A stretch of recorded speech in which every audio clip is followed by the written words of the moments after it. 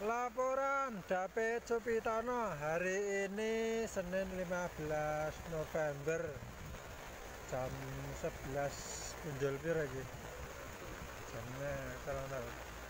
Untuk saat ini ada aliran lokal barusan datang. Begitu Alhamdulillah untuk armada sudah pada